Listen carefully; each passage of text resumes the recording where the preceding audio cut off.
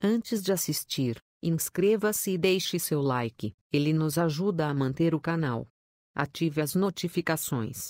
Obrigado e bem-vindo ao canal. Atordoado, Romeu diz que não vai tirar as calças, alegando que macho não faz isso. Joca confere a gravação da ligação que fez para Arminda. Joca conta a Leia que deixou um gravador no quadro do escritório da Patrimônio Eterno. Karina e Tito discutem por causa de casamento. Beatriz aconselha Nicolau a agir como um homem galante em vez de pedir desculpas a Érico. Sereno conta Flores que a Juricaba o interrogou. Romeu, com um olhar assustado, diz a Querêncio que precisa falar com ele. Romeu diz a Sancha e Querêncio que não pode explicar o que aconteceu e afirma que o melhor que pode fazer é ficar calado. Querêncio e Sancha ficam preocupados. Karina chora por seu casamento ter sido adiado indefinidamente e Célia consola. Karina revela à mãe que vai lutar por Tito. Tito e Filomena dividem o chope. Os dois sorriem. Filomena chega e vê Querêncio com uma garrafa de cachaça que encontrou na casa de Sancha e Romeu. Filomena fala para Querêncio que Ari ofereceu uma boa quantia para ele pintar um quadro com o enforcado. Romeu conta a Sancho que ouve e ela insiste para que o marido dê queixa. Joca ouve a conversa que teve com Arminda. Leia diz ao filho que ele está apaixonado pela mulher que pode ser a assassina. Diana,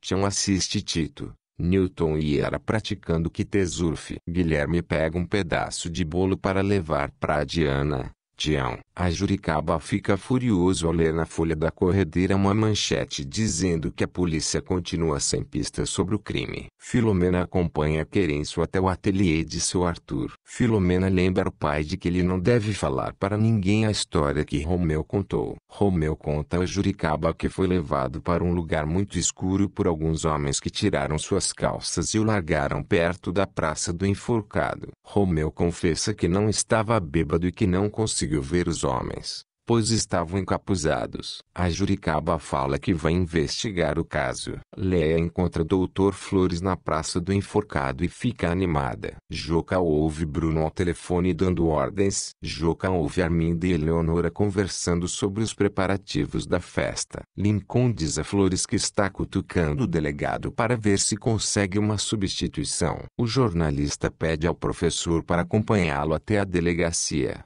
como amigo. Diana, Tião chega à barraca e encontra a sacola com o bolo pendurada. Ela, ele come, se certifica de que não há ninguém por perto e vai tomar banho no rio. Guilherme observa tudo de longe. Diana, Tião tira uma roupa e Guilherme vê que Diana, Tião é uma menina.